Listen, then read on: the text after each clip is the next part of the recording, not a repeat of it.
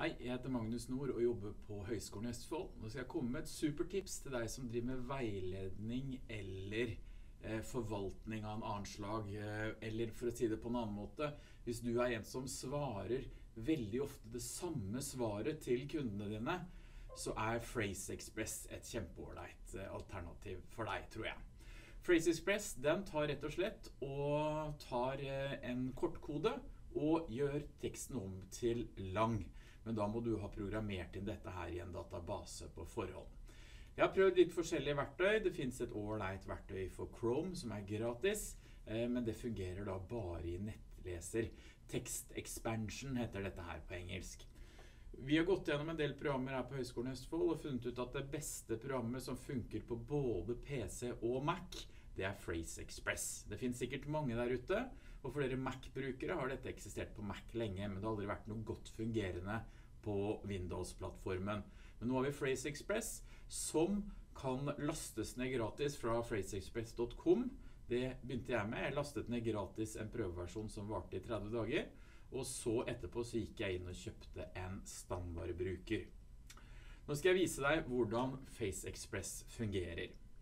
Jeg har da eh, vært eh, og lastet ned programmet og installert det. Eh, du finner litt klossete til her nede i høyre hjørne. Her går jeg opp, og så finner jeg dette utropstegnet som er Face Express. Høyreklikker på den, og så går jeg opp på Edit Phrases. Og da får jeg opp denne, dette lille vinduet her, og det er faktisk programmet. Nå skal jeg vise hvordan det fungerer. Eh, her har jeg eh, mappa mi som heter IKT-MUK. Jeg underviser et nettbasert studie med nesten 1000 studenter, og da er det ofte at det samme spørsmålet kommer igjen. I, I, dette kurset har vi ti moduler, og her har jeg lagt opp spørsmål til de ti modulene.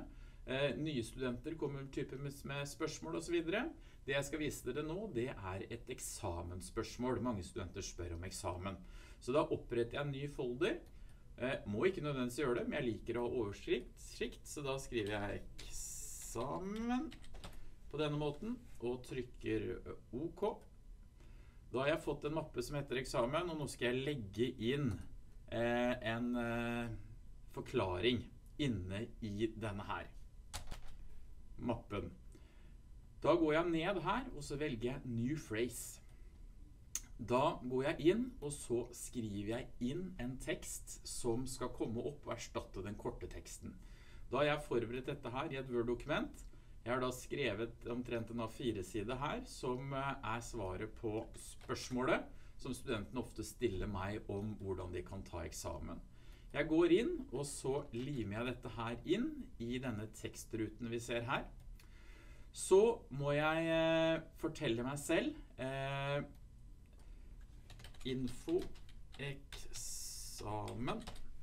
Og så må jeg velge ut hva som skal være hurtig, hurtigkoden min for å skrive inn dette her.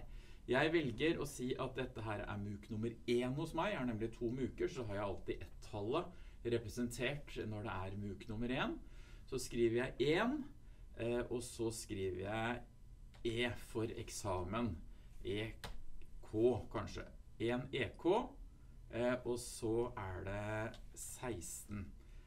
Eksamen 16. Disse kortkodene bør jo være ganske korte, men du må passe på at det ikke er noen ord som kan faktisk eh, eksistere. Så 1E hadde sannsynligvis vært for kort hos meg, for da kunne det godt hende at jeg skulle skrive klasse 1E, og så ble det erstattet videre. EK, og så skriver jeg at dette gjelder for 16 på denne måten. Jeg kunne også putta inn hurtigtaster. Hvis det er noen som liker hurtigtaster, så kunne man koble opp hurtigtaster som ennå ikke eksisterer, og så kunne man hatt det på hurtigtaster.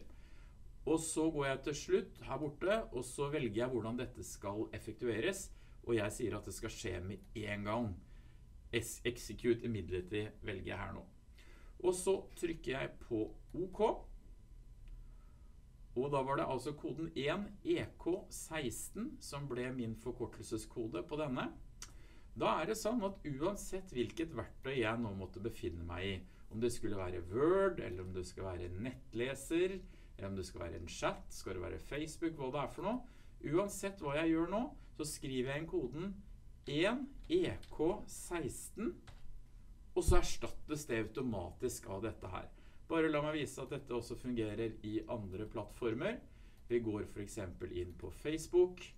Eh, jeg har fått et spørsmål og skal svare i en gruppe f.eks. Skriver nå 1 EK16, og automatisk erstattes det av den lange teksten. Jeg kunne fått spørsmål på chat av enkeltstudenter. Går da inn på chatten, skriver 1 EK16, og den erstattes av den lange teksten. Dette er med på å gjøre det veldig mye enklere for meg i hverdagen når jeg skal eh, ut og gi tilbakemelding. Det vi gjorde på Høgskolen i Østfold, at eh, i hvert fall til å begynne med, så kjøpte vi en standard lisens. Eh, men jeg har et team på seks mennesker, og vi svarer de samme studentene. Og det kan være eksempel at en av mine hjelpelærere skal ta en av mine standardtilbakemeldinger, og det kan de gjøre nå. Det har vi gjort på følgende måte. Vi har gått inn, og så har vi lagd oss et felles bibliotek av disse standardsvarene vi gir tilbake, og det har vi lagret på et delt nettskjær, nettområde. Slik at alle sammen, når de åpner FaceExpress, så har vi et felles bibliotek som ligger på nettet. Hvis vi er hjemme, så må vi bruke VPN for å koble opp, opp slik at vi alltid har tilgang til det nyeste oppdaterte svaret.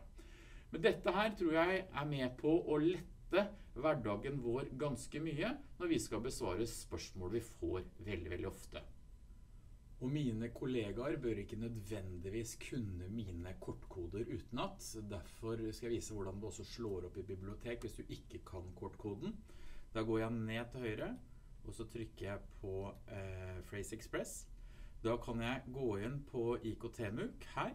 Eh, så får jeg ikke opp alle spørsmålene på en gang. Da kan jeg trykke på denne pinnen her. Trykker jeg fram den, drar jeg fram den, viser jeg på skjermen. Nå skal jeg liksom sette inn svaret her. Da går jeg inn, og så går jeg på mappa eksamen. Der kan det da ligge x antall spørsmål. Jeg går inn på intro-eksamen, som var den jeg akkurat gjorde nå. Og så klikker jeg der, og så setter jeg inn teksten. Så det er ikke sånn at alle må kunne alle kortkodene. Av og til så editerer jeg litt i starten for å gjøre det litt mer personlig, men i det fulle og hele så er det å lage kvalitetssikra gode svar som kan gi svar på veldig mye i ett til studenten. Så hvis studenten spør om eksamensdatoen, så kan det godt hende at jeg limer inn teksten for all informasjon om eksamen, der eksempel eksamensdatoen er representert. Håper dette her kan være med på å hjelpe hverdagen din også. Den har i hvert fall hjulpet min masse.